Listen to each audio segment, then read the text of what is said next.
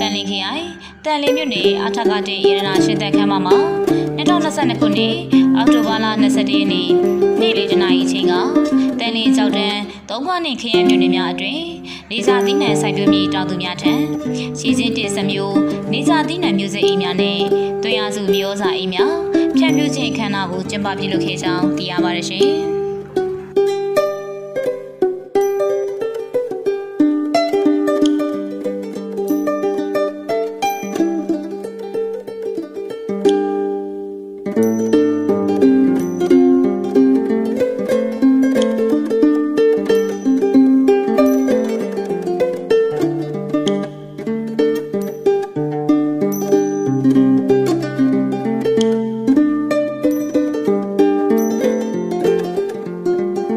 မ်းအနားမှာတန်လင်းခရိုင်အုပ်ချုပ်ရေးမှူးဦးအောင်တိုင်ဝင်းကတန်လင်းခရိုင်တွင်ရှိမြို့နယ်များမှာနေစာသီးနယ်ရတာချက်အေးက1649အေးကပြည်မီကျုံလုံးစွာစိုက်ပျိုးနိုင်ရေးဆောင်ရွက်ထားရှိမှုစီမံများအားရှင်းလင်းတင်ပြခဲ့ပြီးနောက်ရန်ကုန်တိုင်းဒေသကြီးအစိုးရဖွဲ့ဝင်ကြီးချုပ်ဦးစိုးသိန်းကလမ်းညွှန်မှစကားပြောကြားခဲ့ပါတယ်။ရှင်းနောက်စိုက်ပျိုးရေးဦးစီးဌာနတိုင်းဒေသကြီးဦးစီးမှုဦးမြင့်ဆွေကနေကြစိုက်ပျိုးရေးဆိုင်ရာများနဲ့ပတ်သက်ပြီးရှင်းလင်းဆွေးနွေးခဲ့ပါတယ်။ ထို့နောက်နေကြသီးနှံစိုက်ပျိုးမြေတောင်သူများထံသို့ရေစင်းတေစမျိုးနေကြသီးနှံမျိုးစိအိမ်များနဲ့တွင်ရစုမြေဩစာအိမ်များကိုပေးရန်ရန်ကုန်တိုင်းဒေသကြီးအစိုးရဖွဲ့ဝင်းကြီးချုပ်ဦးစိုးသိန်းကတန်လီကြောက်တဲ့မြို့နယ်များမှာစံပြစိုက်ခွက်စိုက်ပျိုးမြေတောင်သူများကို၎င်းရန်ကုန်တိုင်းဒေသကြီးဆိုရဖွဲ့စီပင်သာရေးဝင်ကြီးမြို့တော်ဝန်ဦးဘိုထီကခရင်သုံးပါမြို့နယ်များမှာစံပြစိုက်ခွက်စိုက်ပျိုးမြေတောင်သူများကို၎င်းရန် ကုန်တိုင်းဒေသကြီးဆိုရဖွဲ့စီးပွားရေးရာဝန်ကြီးဦးမျိုးမြင့်အောင်ကတန်လီမြို့နယ်ရှိနေကြဆိုင်တောင်သူများကို၎င်းရန်ကုန်တိုင်းဒေသကြီးတယန်စာတာရေးရာဝန်ကြီးဦးစောဝင်းကကြောက်တဲမြို့နယ်ရှိနေကြဆိုင်တောင်သူများကို၎င်း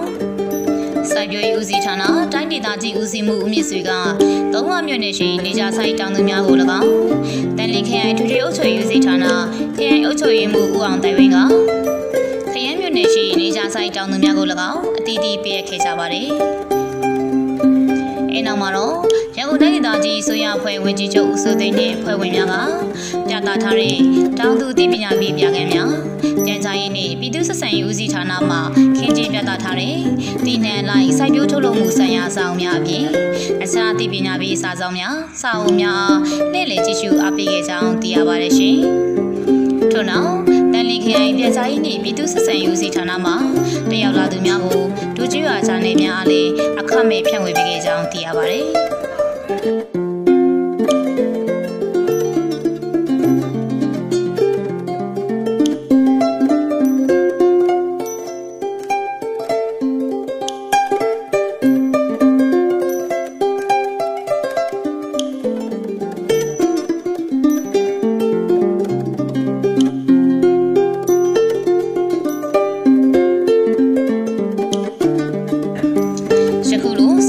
မှုများနဲ့ပတ်သက်လို့တောင်သူများရဲ့ရင်တွင်စကားသံများကိုလည်းယခုလိုပဲကြားသိခဲ့ရပါတယ်ရှင်လို့လဲညညာရေးဌာနကနေပြီးတော့ကျွန်တော်တို့ဒီနေ့နေကြစိုက်ကျိုးတဲ့တောင်သူတွေကိုလာရောက်ပြီးတော့အခုလို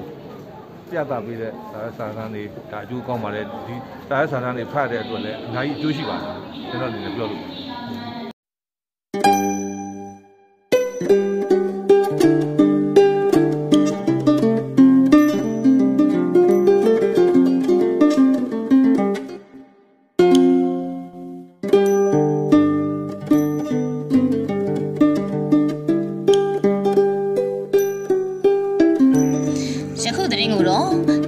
တင်းကိုတော့တန်လင်းခရိုင်ပြက်ဆက်ကပေးပို့ထားတာဖြစ်ပါတယ်ရှင်